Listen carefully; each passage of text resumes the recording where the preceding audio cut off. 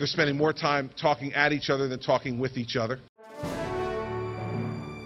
Your rear end's gonna get thrown in jail, idiot. Idiot. Are you are you stupid? You must be the thinnest skinned guy in America. Because you think that's a confrontational tone, then, I, you know, you should really see me when I'm pissed. You're a real big shot. You're a real big shot. Shut your mouth off. If you give it, you're going to get it back. You're not compensating me for my education, and you're not compensating me for my experience. That's Well, you know what? Then you don't have to do it. Want to stay? We don't want you. I couldn't tell you who the second person was I called on in Nutley.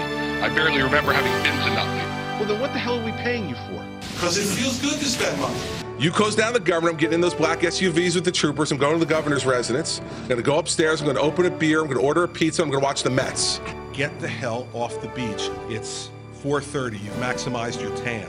Get off the beach. If what you want to do is put on a show and giggle every time I talk, well, then I have no interest in answering your question. Sir, I don't know. That were not. Excuse me, sir. You were not in the room. Let me answer the question. If I planted the question, why the hell did I call on you? Give the microphone back. Give the microphone back. I.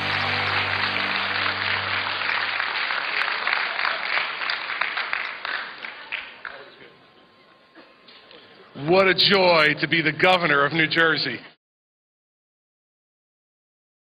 It's people who raise their voices and yell and scream like you that are dividing this country. We're